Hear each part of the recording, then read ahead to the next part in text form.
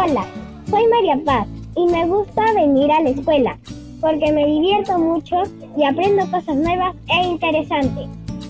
Mi maestra siempre conversa con mi papá y mi mamá para decirles qué y cómo estoy aprendiendo. Así como María Paz, me siento contenta, porque con el apoyo del acompañante pedagógico y del formador estoy logrando identificar de manera precisa lo que deben aprender mis estudiantes, evaluar su progreso y analizar la información de las evaluaciones, identificar qué estrategias me están funcionando y cómo mejorar mi desempeño en el aula, mejorar el uso del tiempo y optimizar el uso de los materiales y recursos disponibles que hay en el aula. El acompañamiento pedagógico es una estrategia que consiste en dar asesoría planificada, continua, pertinente, contextualizada y respetuosa a los docentes, generando espacios de diálogo y reflexión. Las visitas en aula y los microtalleres son dos formas de intervención que tenemos como responsabilidad los acompañantes pedagógicos.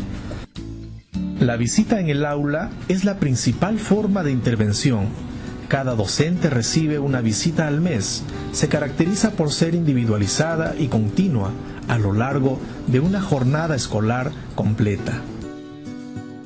Los microtalleres son reuniones programadas y concertadas entre el acompañante pedagógico y los docentes para profundizar temas de interés común relacionados al trabajo pedagógico en las aulas, con la finalidad de reflexionar y asumir compromisos de mejora de la práctica en el aula. Cada docente recibe ocho microtalleres al año.